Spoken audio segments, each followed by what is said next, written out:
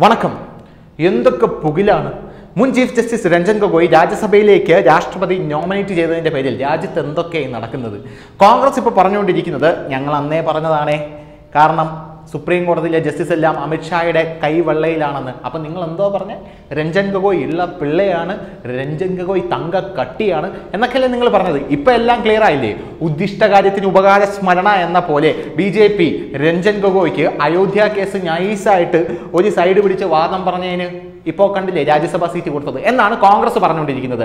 ഇങ്ങനെ കോൺഗ്രസ് കത്തി കത്തി കത്തി കയറുന്ന ഒരു സാഹചര്യമാണ് ഇപ്പോൾ രാജ്യത്തുണ്ടായിരിക്കുന്നത്. പിന്നെ സി പി എമ്മിന്റെ കാര്യം പറയേ വേണ്ട. എന്റെ പൊന്ന് നിഷ്കളങ്കരേ എന്ന് പറഞ്ഞ് സി പി എമ്മിന്റെ എം സ്വരാജിന്റെ ഒരു പോസ്റ്റ് ആ സമയത്തുണ്ടായിരുന്നു. അതായത് രാജ്യത്ത് ഇത്രയധികം നിർണായകമായിട്ടുള്ള ഒരു വിധി വരുമ്പം കുത്തിത്തിരിപ്പുമായിട്ട് രംഗത്തെത്തരുത് എന്ന് പല ആൾക്കാരും മുഖ്യമന്ത്രി തന്നെ നിർദ്ദേശം കൊടുത്തിരുന്നു. പക്ഷേ ഈ വിധി അയോധ്യ കേസിൽ വന്നപ്പോൾ ആദ്യം തന്നെ പോസ്റ്റ് ഇട്ടത് ഡിവൈഎഫ്ഐയുടെ തലമുതിർന്ന നേതാവായ എം സ്വരാജ് ആണ് എന്റെ പൊന്ന നിഷ്കളങ്കരെ നിങ്ങൾ ഇതല്ലാതെ വേറൊരു വിധി പ്രതീക്ഷിച്ചിരുന്നു എന്നാണ് എം സ്വരാജ് അന്ന് പോസ്റ്റ് ഇട്ടത്. അതേ പോസ്റ്റ് തന്നെ ഇന്ന് പൊക്കിക്കൊണ്ടുവന്ന് കണ്ട നമ്മുടെ സ്വരാജ് സഖാവ് പറഞ്ഞത് ഇപ്പം കറക്റ്റ് ആയില്ലേ?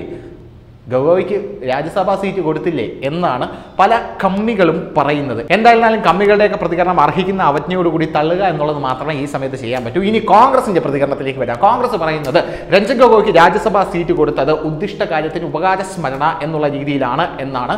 എന്തായിരുന്നാലും കോൺഗ്രസിന്റെ ഈ വാദങ്ങളെല്ലാം അക്കമിട്ട് പൊളിച്ചടുക്കി രംഗത്തെത്തിയിരിക്കുകയാണ് നമ്മുടെ സന്ദീപ് വാര്യർ എന്ന് പറയുന്നത്. ബി ജെ പിയുടെ നമ്മുടെ സംസ്ഥാനത്തെ സംസ്ഥാന വക്താവാണ് അദ്ദേഹം. അദ്ദേഹം കുറച്ച് ചരിത്രമൊക്കെ പറയുന്നുണ്ട്. ആയിരത്തി തൊള്ളായിരത്തി എൺപത്തി നാലിലെ സിഖ് വിരുദ്ധ കലാപത്തിൽ കോൺഗ്രസിന് ക്ലീൻ ചീറ്റ് നൽകിയ ഒരു സുപ്രീം കോടതി ചീഫ് ജസ്റ്റിസ് ഉണ്ടായിരുന്നു. അദ്ദേഹത്തിന്റെ പേര് രംഗനാഥ് മിശ്ര എന്നായിരുന്നു. കോൺഗ്രസ് ടിക്കറ്റിൽ പിന്നീട് രംഗനാഥ് മിശ്ര രാജ്യസഭാ എം പി ആയി എന്നുള്ളതാണ് ആദ്യത്തെ ചെക്ക് എന്ന് പറയുന്നത്. അപ്പോൾ അവിടെ ഒരാൾ രാജ്യസഭ എം പി ആയിട്ടുണ്ട്. അതായത് സുപ്രീം കോടതി ജസ്റ്റിസ് ആയിരുന്നു രംഗനാഥ് മിശ്ര. രംഗനാഥ് മിശ്ര കോൺഗ്രസിന് വളരെയധികം പ്രിയപ്പെട്ടവനായിരുന്നു. അതുമാത്രമല്ല കോൺഗ്രസിന്റെ സിഖ് കലാപം നൈസായിട്ട് ഒതുക്കി കൊടുത്തത് രംഗനാഥ് മിശ്രയായിരുന്നു. ഈ രംഗനാഥ് മിശ്രയാണ് കോൺഗ്രസ് രാജ്യസഭ എം പി ആക്കി നോമിനേറ്റ് ചെയ്തത്. അപ്പോൾ ഇങ്ങനെയുള്ള കോൺഗ്രസിന് രഞ്ജൻ ഗൊഗോയെ നോമിനേറ്റ് ചെയ്തതിൽ എന്തെങ്കിലും തെറ്റ് പറയാനുള്ള വോയിസ് ഇല്ലടേ എന്നാണ് സന്ദീപ് വാര്യർ പറയുന്നത്. പ്രധാനമായിട്ടും കോൺഗ്രസ് ആണ് അന്ന് രംഗനാഥ് മിശ്ര നോമിനേറ്റ് ചെയ്തതെങ്കിൽ ഇവിടെ ബി ജെ പി പോലുമല്ല രഞ്ജൻ ഗൊഗോയ് നോമിനേറ്റ് ചെയ്തിരിക്കുന്നത്. ഒരു ചീഫ് ജസ്റ്റിസിനെ രാഷ്ട്രപതിയാണ് നോമിനേറ്റ് ചെയ്തിരിക്കുന്നത്. അത് തെറ്റ് പറയാനൊന്നുമില്ല. തെറ്റ് പറയാൻ യാതൊരു കാര്യവുമില്ല എന്നാണ് സന്ദീപ് വാര്യർ ഒന്നാമത്തെ പോയിന്റിൽ പറയുന്നത്. ഇനി അടുത്ത രണ്ടാമത്തെ കിടിലം പോയിന്റ് അദ്ദേഹം പറയുന്നത്. ബഹ്റുൽ ഇസ്ലാം എന്ന സുപ്രീം കോടതി ജഡ്ജിയെ രാജിവെപ്പിച്ച് രാജ്യസഭാ അംഗം ആക്കിയ ചരിത്രവും കോൺഗ്രസിനുണ്ട്. ബീഹാറിലെ കോൺഗ്രസ് മുഖ്യമന്ത്രിയായിരുന്ന ജഗന്നാഥ് മിശ്രയുടെ അഴിമതി കേസിൽ കോൺഗ്രസിന് അനുകൂലമായി വിധി പറഞ്ഞത് ഇയാളായിരുന്നു എന്നാണ് സന്ദീപ് വാര്യർ തന്റെ ഫേസ്ബുക്ക് പോസ്റ്റിലൂടെ പറയുന്നത്. രണ്ടാമത്തെ സുപ്രീം കോടതി ജഡ്ജിയെയും രാജിവെപ്പിച്ച് രാജ്യസഭാ അംഗമാക്കിയ ചരിത്രമുള്ള കോൺഗ്രസ് ആണ് ഇപ്പോൾ ഒരു ചാരിത്ര പ്രസംഗം എന്ന പോലെ വന്നു നിന്ന് രഞ്ജൻ ഗൊഗോയെ ഇങ്ങനെ ആക്കിയത് ശരിയായില്ല. എന്തായിരുന്നാലും രാജ്യത്തെ എല്ലാം താറുമാറായി തകർന്നടിഞ്ഞ് സുപ്രീം കോടതിയൊന്നും ഇനി വിശ്വസിക്കാനേ പറ്റില്ല എന്ന് കോൺഗ്രസ് ഇങ്ങനെ പറഞ്ഞുകൊണ്ടിരിക്കുന്നത് എന്നാണ് സന്ദീപ് വാര്യർ പറയുന്നത്. ഇനി മൂന്നാമതൊരു കിടിലം പോയിന്റ് സന്ദീപ് വാര്യർ പറയുന്നത്. മൂന്ന് സഹപ്രവർത്തകർക്കൊപ്പം ചരിത്രം രചിച്ച പത്രസമ്മേളനം നടത്തിയപ്പോൾ രഞ്ജൻ ഗൊഗോയ് കോൺഗ്രസ്സുകാർക്കും സി പി എമ്മുകാർക്കും കാണപ്പെട്ട ദൈവമായിരുന്നില്ലേ എന്നാണ്. അതിനൊരു ഹിസ്റ്ററി ഉണ്ട്. അതായത് രണ്ടായിരത്തി പതിനാലിൽ നരേന്ദ്രമോദി സർക്കാർ കയറിയ ശേഷം നരേന്ദ്രമോദി സുപ്രീം കോടതിയിലെ ജഡ്ജിമാരെ എല്ലാം ഹൈജാക്ക് ചെയ്യുന്നു എന്ന് വളരെ വലിയൊരു ആരോപണം ഉണ്ടായിരുന്നു കേട്ടോ. ആ സമയത്ത് ദീപക് മിശ്രയായിരുന്നു ജഡ്ജി എന്ന് പറയുന്നത്. നമ്മുടെ ശബരിമല വിഷയമൊക്കെ വിധി പറഞ്ഞ പുള്ളിയാണ് ദീപക് മിശ്ര.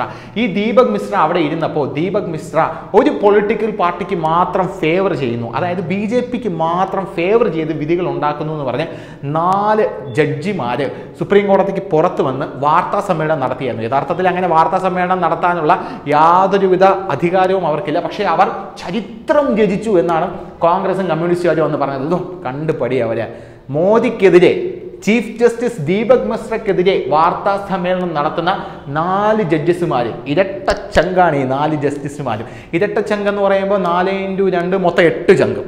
അങ്ങനെ ഈ എട്ട് ചങ്കുള്ള നാല് ജഡ്ജിമാരാണ് വന്ന് ഇരുന്ന് മോദിക്കെതിരെ ദീപക് മിശ്രക്കെതിരെ രാജ്യത്തെ കുത്തഴിഞ്ഞുകൊണ്ടിരിക്കുന്ന സുപ്രീം കോടതിക്കെതിരെ ജനാധിപത്യ വ്യവസ്ഥയ്ക്കെതിരെ നിയമ സംവിധാനത്തിനെതിരെ. കുറച്ച് വെള്ളം കുടിക്കാൻ അങ്ങനെ വാർത്താ സമ്മേളനം നടത്തിയത് എന്നാണ് സി പി എമ്മുകാരും നമ്മുടെ കോൺഗ്രസും പറഞ്ഞത് ഈ നാല് ജഡ്ജിമാർ ആരാണെന്നൊക്കെ അറിയാമോ? ഒന്ന് ജസ്റ്റിസ് ചലമേശ്വർ രണ്ട് കുര്യൻ ജോസഫ് മൂന്ന് മദൻ ടാക്കൂർ നാലാമത്തെ എണ്ണനാണ് അടിപൊളി രഞ്ജൻ ഗൊഗോയ്. ഈ നാല് ജഡ്ജിമാരാണ് വന്നിരുന്ന് നമ്മുടെ ചീഫ് ജസ്റ്റിസ് ദീപക് മിശ്രയ്ക്കെതിരെയും ബി ജെ പി എന്ന് പറഞ്ഞ പൊളിറ്റിക് പാർട്ടിയെ അയാൾ ഫേവർ ചെയ്യുന്നു എന്നും പറഞ്ഞ് വാർത്താ സമ്മേളനം നടത്തിയത്. ഈ രഞ്ജൻ ഗൊഗോയാണ് പിന്നീട് നൈസായിട്ട് സുപ്രീം കോടതി ജഡ്ജിയായത്. ഒന്ന് ആലോചിക്കണം. ബി ജെ പിക്കെതിരെ ചീഫ് ജസ്റ്റിസ് ദീപക് മിശ്രയ്ക്കെതിരെ വാർത്താ സമ്മേളനം നടത്തിയ രഞ്ജൻ ഗൊഗോയ് പിന്നീട് ചീഫ് ജസ്റ്റിസ് ആകുന്നു. കോൺഗ്രസും കമ്മ്യൂണിസ്റ്റുകാരൊക്കെ ഹാപ്പി ആവുന്നു. ചീഫ് ജസ്റ്റിസ് രഞ്ജൻ ഗൊഗോയിയെ പുകഴ്ത്തിക്കൊണ്ട് അവർ രംഗത്തെത്തുകയാണ്. അവർ പറയുന്നത് "ഉഹ്, രഞ്ജൻ ഗൊഗോയി ഇനി വന്നു കഴിഞ്ഞാൽ സുപ്രീം കോടതി രക്ഷപ്പെട്ടു. ബി ജെ പി ഇനി തകർന്നടിഞ്ഞു. ഇനി മോദിയുടെ കളിയൊന്നും നടക്കില്ല. എന്നൊക്കെ പറഞ്ഞ് നമ്മുടെ നിയമ സംവിധാനത്തിനൊക്കെ വളരെയധികം അധികം അവഹേളിക്കുന്ന രീതിയിലാണ് ആ പ്രസ്താവനയൊക്കെ എന്നുള്ളത്. വേറെ കാര്യം അതിലോട്ടൊന്നും പോകണ്ട. കാരണം അത് അവരുടെ സഹജമായിട്ടുള്ള സ്വഭാവമാണ്. അങ്ങനെയുള്ള ഇരിക്കുന്ന ഈ സാഹചര്യത്തിലാണ് ജസ്റ്റിസ് രഞ്ജൻ ഗൊഗോയ് അയോധ്യ വിധി പുറപ്പെട്ടിരിക്കുന്നത്. ശേഷം അദ്ദേഹം ഇറങ്ങി. അദ്ദേഹം ഇറങ്ങിയപ്പോൾ അദ്ദേഹത്തിനെ രാഷ്ട്രപതി നോമിനേറ്റ് ചെയ്ത് രാജ്യസഭാ എം പി ആക്കി ഇന്ന് അദ്ദേഹം സത്യപ്രതിജ്ഞ ചെയ്തിട്ടുണ്ട്. ആ സമയത്ത് രഞ്ജൻ ഗൊഗോയ് കയറിയ സമയത്ത് കോൺഗ്രസും സി പി എമ്മും എല്ലാം പറഞ്ഞത് രഞ്ജൻ ഗൊഗോയ് സത്യസന്ധനാണ് ഇള്ള പിള്ളയാണ് തങ്ക കട്ടിയാണ് വൈരക്കല്ലാണ് എന്നൊക്കെയാണ് ആ സമയത്ത് പറഞ്ഞിരുന്നത്. എന്നാൽ ഇപ്പോൾ രാഷ്ട്രപതി അദ്ദേഹത്തെ രാജ്യസഭാംഗമാക്കിയപ്പോൾ കോൺഗ്രസ്സുകാർ പറയുന്നത് കമ്മ്യൂണിസ്റ്റുകാർ പറയുന്നത് അദ്ദേഹം ഷൂ നക്കിയാണ് ബി ജെ പിക്കാരുടെ കൂടെയാണ്. അദ്ദേഹം ബി ജെ പിക്കാരുടെ എച്ചിൽ തീനിയാണ് എന്നൊക്കെയാണ് പറയുന്നത്. ഇതിൽ നിന്ന് ഇവരുടെയൊക്കെ ഒരു സഹജ സ്വഭാവം നമുക്ക് മനസ്സിലാക്കാനായിട്ട് സാധിക്കുന്നുണ്ട്. എന്തായിരുന്നാലും രാജ്യസഭയിൽ ഇന്ന് രഞ്ജൻ ഗൊഗോയ് എത്തിയ വിവരമാണ് ലേറ്റസ്റ്റ് ആയിട്ട് പുറത്തു വരുന്നത്. പിന്നെ വേറൊരു കാര്യം പ്രത്യേകം പറയാനുള്ളത് രാജ്യസഭയിൽ കയറിയപ്പോൾ രഞ്ജൻ ഗൊഗോയ് നല്ല കൈയൊക്കെ സാനിറ്റൈസർ ഇട്ട് കഴുകിയിട്ടായിരിക്കും കയറിയത്. കാരണം കൊറോണ ഭീതി നിലനിൽക്കുകയാണ്. നമ്മുടെ സംസ്ഥാനത്തും കൊറോണ ഭീതി നിലനിൽപ്പുണ്ട്. അതുകൊണ്ട് പുറത്ത് പോയിട്ട് അകത്ത് വന്നു കഴിഞ്ഞാൽ സാനിറ്റൈസർ ഉപയോഗിച്ച് കൈ വൃത്തിയാക്കിയ ശേഷം മാത്രമേ അകത്ത് കയറാവുള്ളൂ ചെറിയൊരു അശ്രദ്ധ മതി.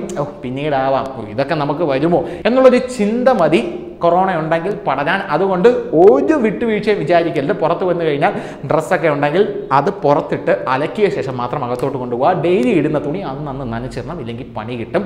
തറയൊക്കെ ഡെയിലി നല്ല വൃത്തി തുടയ്ക്കുക. അത് മാത്രമല്ല രണ്ട് നേരം കുളിക്കുക കൈകൾ ഇടയ്ക്കിടയ്ക്ക് നല്ല വൃത്തിയെ കഴുകുക എന്നുള്ളതാണ് കൊറോണയെ തുരത്താനുള്ള ഒരു മാർഗം എന്ന് പറയുന്നത്. അപ്പോൾ ശരി.